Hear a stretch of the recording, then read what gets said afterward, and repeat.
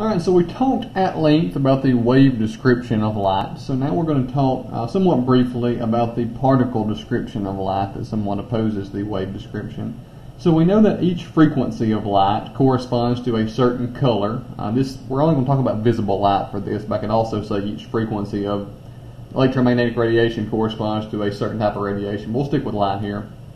So each frequency has a set color, and that corresponds to a set amount of energy. Okay, so we know that there is a direct proportion between frequency and energy. So I could say direct proportion between, let's say frequency, and we'll abbreviate energy, capital E. So that means when frequency goes up, energy goes up. Uh, and there's an inverse proportion between wavelength and energy. So when energy goes, excuse me, when wavelength increases, energy decreases there. So knowing this, there were several experiments done. Uh, the most uh, impressive experiment here is an experiment that proved what we call the photoelectric effect. Before we talk about that, let's do a couple of vocab words though. So what we call particles of light, we call them photons. Okay. So photons at this point were the theoretical um, little pieces of light, the little particles of light, but now we know they um, they've been proven to be true, so they're no longer theoretical. At this point in time, the early 1900s, uh, they were a term used to describe what we you know thought were the particles of light.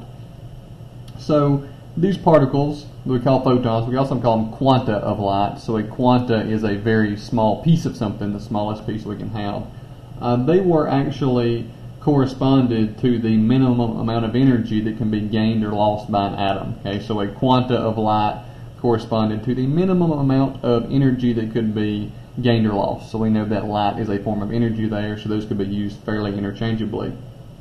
So knowing this, and more specifically knowing that energy and frequency are directly proportional, we can do calculations to convert from frequency to energy. So the formula that we use for that is we have a capital E, which stands for energy, equals H times V. So we know a couple of these uh, symbols. We know E is energy, and capital J, which is a joule, is the unit that we most commonly use for energy. We know that the what we write as V, uh, the Greek letter actually is, we'll just write V though, corresponds to frequency.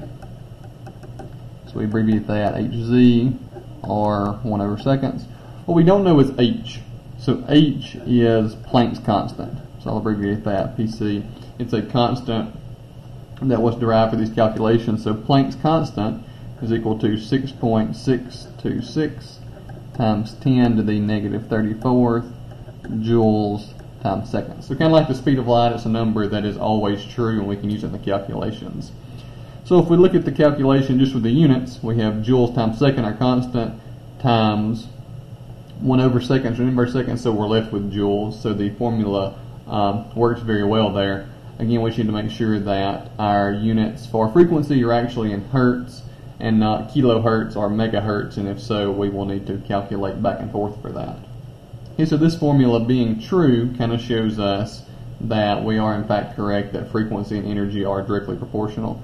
So let's look for a second though before we deal with these calculations where we proved that photons actually exist and how we prove that light actually does have some sort of particle nature. So this is the work that won Einstein his Nobel Prize. So we are all familiar with Einstein. He's known mostly for his theories of relativity, but they were proven uh, after his death. So he never won a Nobel Prize for that. However, he did win a Nobel Prize for these simple, or not simple, these, they seem simple today, uh, ideas and concepts about light. So what he observed and what other scientists observed was known as the photoelectric effect. So what the photoelectric effect was, is if you had a metal sheet and you shine certain colors of light on that sheet. So let's just say on this example, we shone red light, okay, on that piece of metal, whatever it might be. No matter how bright we get the light, no matter how intense the light is, we can never cause electrons to be released from this sheet of metal. But if you shine other types of light, such as violet, on the same metal sheet, you can get electrons to be ejected. Okay, and they can be picked up by a uh, another sensor over here that would complete a circuit. So simply, what the photoelectric effect is, is it showed that okay, certain colors of light are able to eject electrons from a piece of metal. There's something that is hitting that piece of metal that is knocking out an electron and causing it to be ejected. But not all colors of light can. Only certain colors of light for certain metals.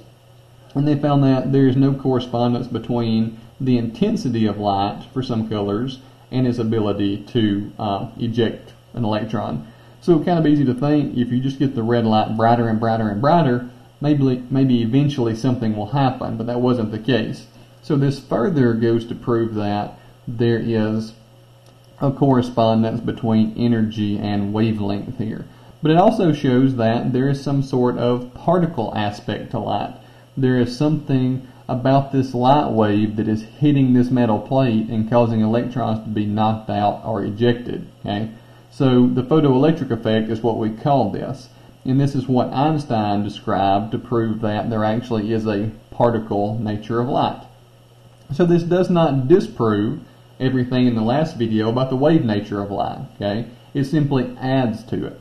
So now we know that light has characteristics called duality, or a characteristic called duality. So it has characteristics of a wave and a particle. And the same is true for electrons.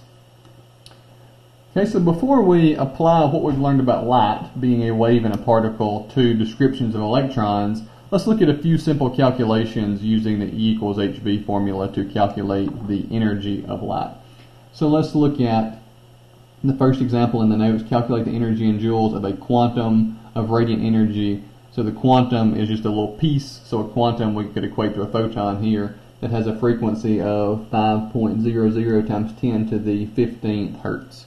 Okay, so we'll say V equals 5.00 times, let's say 15, times 10 to the 15th hertz. Okay. So I'm asking for energy. So the formula I use to calculate energy is E equals HV. So I do some simple algebra. Um, actually, there's no algebra required here. Sorry. We're asking for energy. So the formula is already solved correctly. So I can say E equals Planck's constant, 6.626 times 10 to the negative 34th joules times seconds times 5.00 times 10 to the 15th hertz. Our hertz is 1 over seconds. It's easier to see if you write it in 1 over seconds. That seconds cancels 1 over seconds. So go ahead and plug that in your calculator. So what you should get when you type that in, oh, sorry, let me try it again. I hit the wrong button. Is 3.31 times 10 to the negative 18th joules. So notice Planck's constant is a constant, so we ignore significant digits for that. There were three significant digits in the original problem, so seconds cancel seconds. I'm left with units of joules there. So notice 10 to the negative 18th power is a very, very, very small number. Okay, so this is a very, very tiny amount of energy. Okay, so the visible light spectrum deals with um, electromagnetic radiation that is not super high in energy.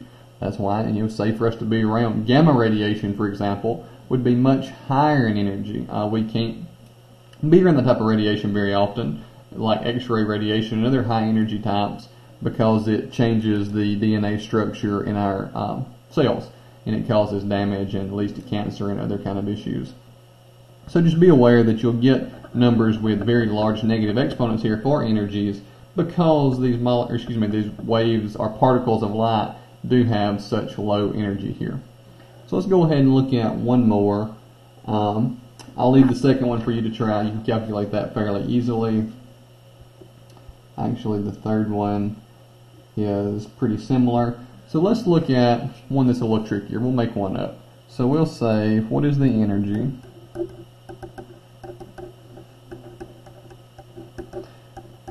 And I'll just say electromagnetic radiation that word with light can be used interchangeably here. What's the energy of electromagnetic radiation with a wavelength of 575 nanometers? Okay. So I'm asking for energy. So I need to use the formula E equals HV.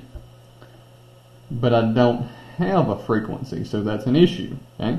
But luckily, I have the formula C equals wavelength times frequency that I can plug in and use this to solve for frequency and then plug that in to solve for energy. So let's use this formula first. So I need to use this formula to solve for the frequency of this light because I know that every wavelength corresponds to a certain frequency. So I can rearrange this into frequency equals the speed of light divided by wavelength. So I can say frequency equals 3.0 times 10 to the 8 meters per second divided by, so hopefully you recognize there's an issue here. I have nanometers. I need to be in meters. They have to cancel out. So I must do a conversion. 575 nanometers.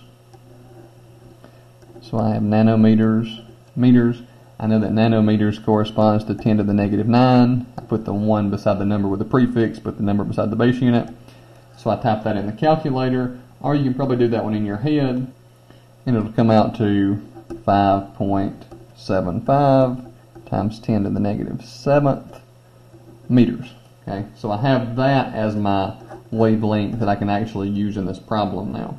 So I go ahead and write down 5.75 times 10 to the negative 7th meters. So now meters and meters will cancel and I'll be left with inverse seconds, which is a hertz is what I'm looking for. So go ahead and type that in your calculator.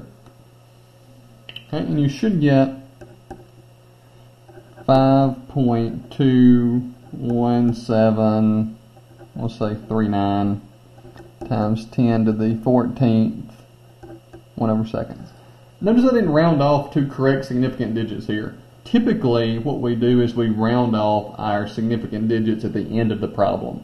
We only round when we're completely done.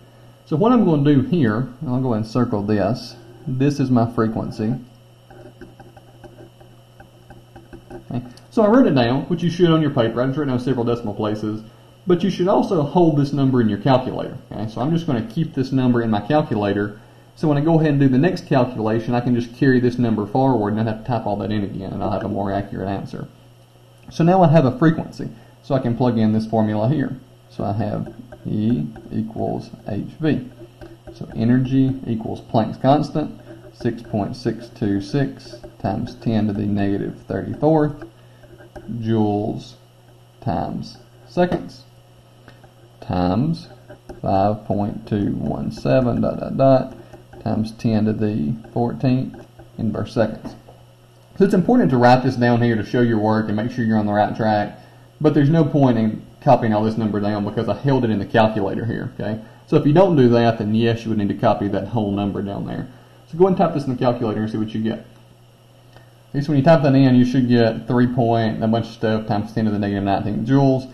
I'm going to go back up to my original problem and say 575 has three significant digits, so I'll round this off to three significant digits. 3.46 times 10 to the negative 19th joules. And that's my correct answer, correct final answer.